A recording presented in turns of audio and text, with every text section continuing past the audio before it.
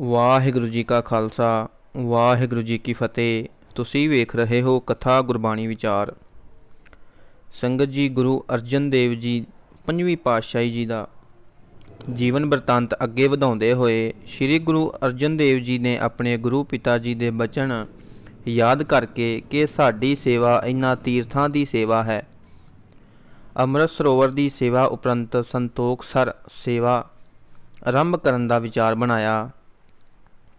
ਇਸ ਸਰੋਵਰ ਨੂੰ ਪਹਿਲਾਂ ਸ੍ਰੀ ਗੁਰੂ ਰਾਮਦਾਸ ਜੀ ਨੇ ਆਰੰਭ ਕਰਾਇਆ ਸੀ। ਇਸ ਦੇ ਪੁੱਟੇ ਹੋਏ ਟੋਏ ਵਿੱਚ ਮੀਂਹ ਦਾ ਪਾਣੀ ਇਕੱਠਾ ਹੋਇਆ ਸੀ ਅਤੇ ਚਾਰ ਚਫੇਰੇ ਬੇਰੀਆਂ ਦੇ ਅਤੇ ਹੋਰ ਬ੍ਰਿਛਾਂ ਦੇ ਬਹੁਤ ਸਾਰੇ ਬੂਟੇ ਖੜੇ ਸਨ।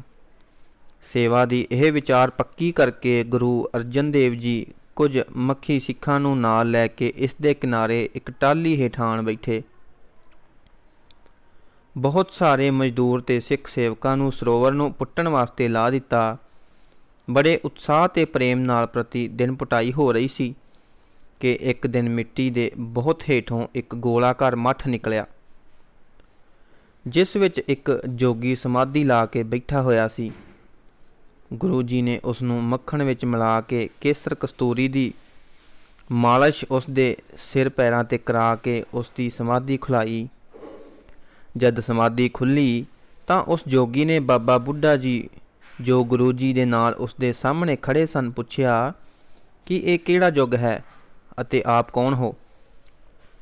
ਬਾਬਾ ਜੀ ਨੇ ਦੱਸਿਆ ਕਿ ਇਹ ਕਲਯੁਗ ਦਾ ਸਮਾਂ ਹੈ ਅਤੇ ਸ੍ਰੀ ਗੁਰੂ ਨਾਨਕ ਦੇਵ ਜੀ ਦੀ ਗੱਦੀ ਉੱਤੇ ਪੰਜਵੇਂ ਥਾਂ ਇਹ ਗੁਰੂ ਅਰਜਨ ਦੇਵ ਜੀ ਖੜੇ ਹਨ।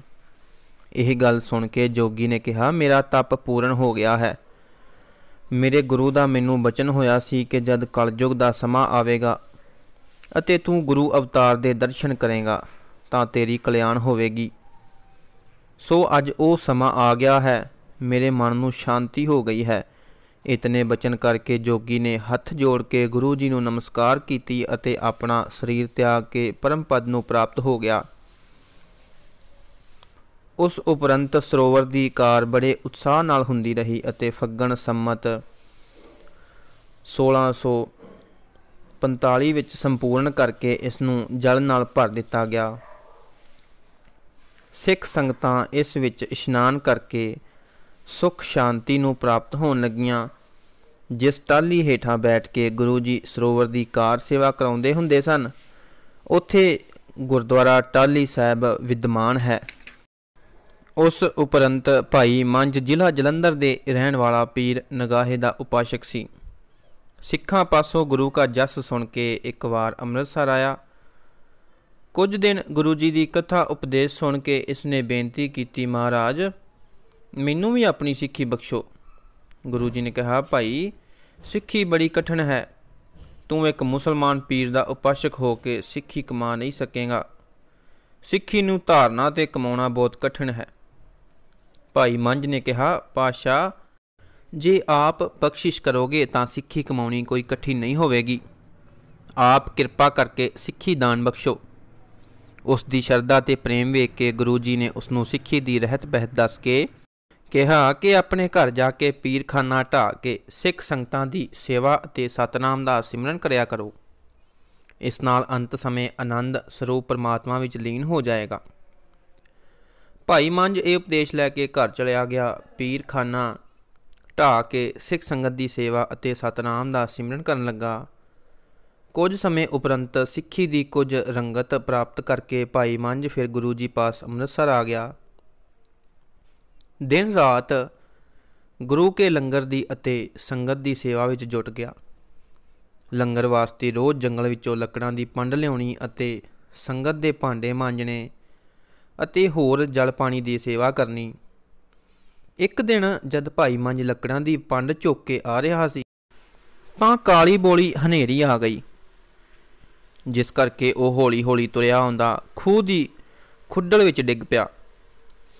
ਉਸ ਖੁੱਡਲ ਵਿੱਚ ਪਾਣੀ ਥੋੜਾ ਹੀ ਸੀ, ਜਿਸ ਵਿੱਚ ਮੰਜ ਆਪਣੇ ਆਪ ਨੂੰ ਸੰਭਾਲ ਕੇ ਸਿਰ ਤੇ ਲੱਕੜਾਂ ਦੀ ਪੰਡ ਚੁੱਕ ਕੇ ਖੜਾ ਗੁਰੂ ਗੁਰੂ ਕਰਨ ਲੱਗਾ। ਜਦ ਇਸ ਗੱਲ ਦਾ ਗੁਰੂ ਜੀ ਨੂੰ ਪਤਾ ਲੱਗਾ ਕਿ ਭਾਈ ਮੰਝ ਖੂਹ ਵਿੱਚ ਡਿੱਗਾ ਹੋਇਆ ਹੈ, ਗੁਰੂ ਗੁਰੂ ਜਪ ਰਿਹਾ ਹੈ, ਤਾਂ ਆਪ ਜੀ ਦੀ ਤਤਛਿਣ ਹੀ ਨੰਗੇ ਪੈਰੀ ਉਧਰ ਨੂੰ ਭੱਜ ਤੁਰੇ। ਪਿੱਛੇ ਸਿੱਖ ਵੀ ਰੱਸੇ ਅਤੇ ਗੁਰੂ ਜੀ ਦਾ ਜੋੜਾ ਅਤੇ ਘੋੜਾ ਲੈ ਕੇ ਭੱਜ ਪਏ।